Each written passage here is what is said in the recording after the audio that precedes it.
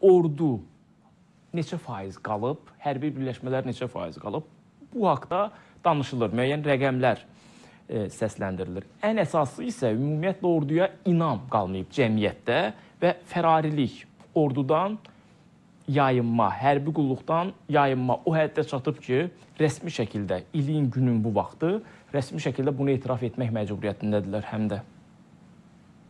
İşğalçı ölkədə əskərlər hərbi xidmətdən yayınmağa çalışır. Ermənistan Müdafiə Nazirliyinin mətbuat xidmətinin yaydığı məlumatda bildirilib ki, ölkədə hərbi hissələrdən məzuniyyətə yollanan əskərlər geri dönmək istəmirlər. Məlumatda həmçinin qeyd olunub ki, bir qrup əskər və onların qohumları hərbiçilərin daimi dislokasiya məntəqələrinə qayıtmasının qarşısını almağa çalışıb. Nəticə etibarilə hərbi hissənin ərazisində ixtişaş baş verib. Vəziyyətdən istifadə edən bir neçə əskər hərbi hissəni icazəsiz tərk edib. İşğalçı dövlətin ordusunda həmişə fərarilik əsas problemlərdən biri olubdur.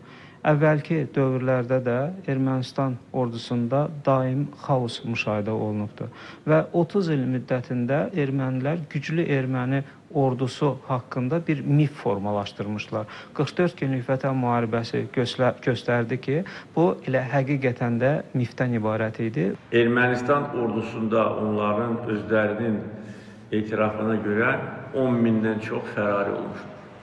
İndi Ermənistan dövləti bilmir ki, bu fərariləri necə mühakimə etsin. Bu gün Ermənistan cəmiyyətində orduya heç bir inam yoxdur. Elə bu səbəbdən əskər valideynləri dövlətə və biləvasitə orduya etimad göstərmirlər.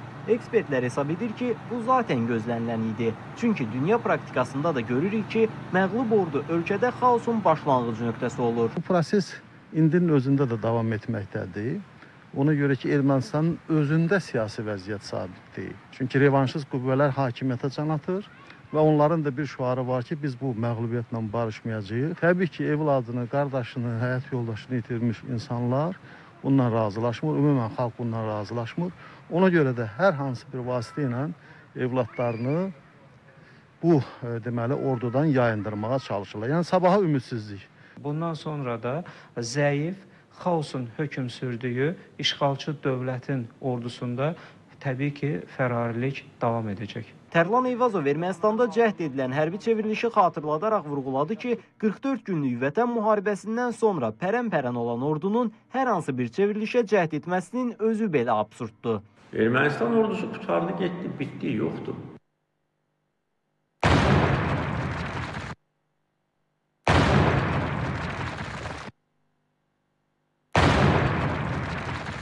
Bu isə rəşadətli Azərbaycan ordusudur. Alnı açıq, başı dik. Qalib ordunun qalib əskərləri. Şamal Hüseynli, Sanağa Dadaşov, Space xəbər.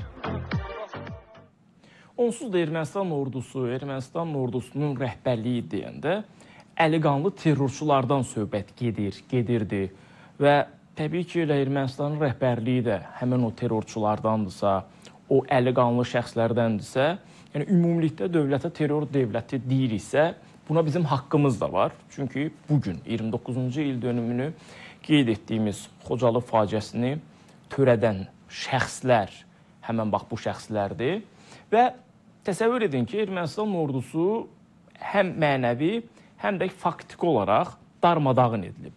Bu məqamda dövlət başçısı, Azərbaycan Respublikasının prezidenti, Ali Baş Komandanı bəyan edir ki, Ermənistanın müttəfiqləri əgər Ermənistan ordusunun qalıqlarını bərpa edib, onu təzədən təşkil etmək istəyirlərsə, bu onların xoş niyyətindən xəbər vermir və bu olduqca yanlış bir addım olar.